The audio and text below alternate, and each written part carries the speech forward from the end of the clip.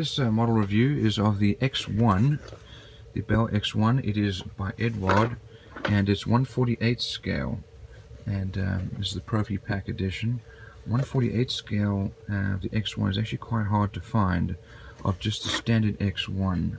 Uh, this is obviously the first plane that flew faster than the speed of sound. Um, and there's some different options of how to paint them. Uh, my preference is going to be to to uh, to do as, as the uh, initial plane that went faster than the speed of sound. And I bought this model online. And it's been uh, started. Some weights have been added to the uh, to the front here. This uh, has a fair level of detail actually. This is an Eduard, so you expect uh, this level of detail these are recessed panel lines. They've got some uh, riveting areas. On the other side also some added uh, weights. Looks like the uh, cockpit has started being built here.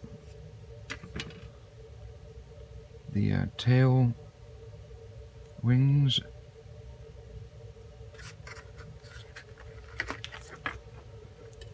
Let's have a look here. These are the wings, fairly well made, no flashing, molds were really well aligned. Some details for the wheels. Here's the instrument panel. It was a very simple plane.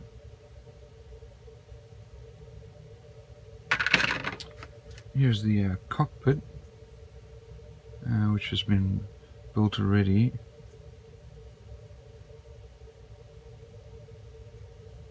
Relatively simple cockpit as there weren't a lot of features for this plane.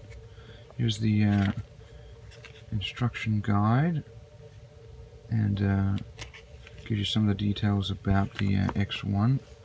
Some of the different parts here, so they tell you not to use the parts in blue uh, because there are actually are resin parts that come along.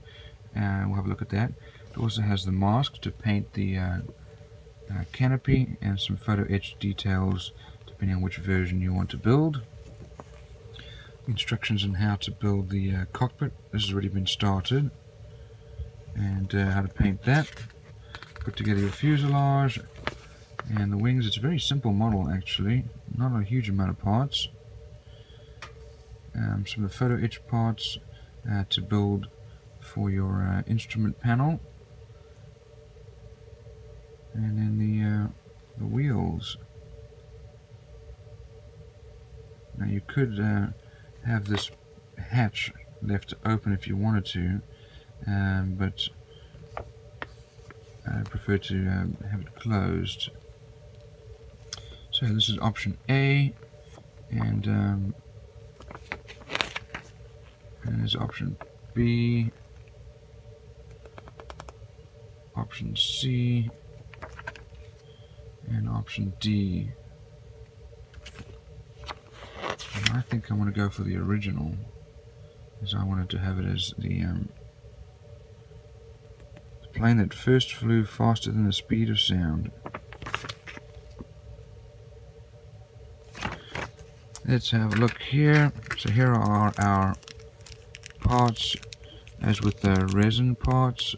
These are very well made. Obviously these are by um, Eduard.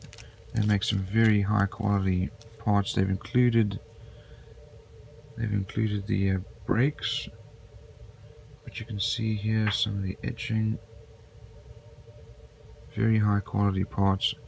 I actually like the way that they have made the join right where it's going to sit on the ground so you wouldn't necessarily need to have the uh, tire marks there.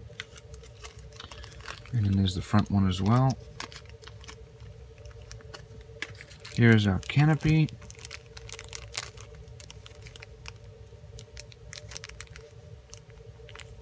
And that definitely uh, will be easier to paint when you use this, which is the mask. You would lay it on top and then peel it off. These are the uh, photo etched parts. And uh, let's have a look at those. You can see here there are some seat belts as well as the instrument panel and the instrument panels come in two uh, parts. Uh, one is the actual instruments behind and then the covers. And then for the side panel let's have a look at the uh, decals here.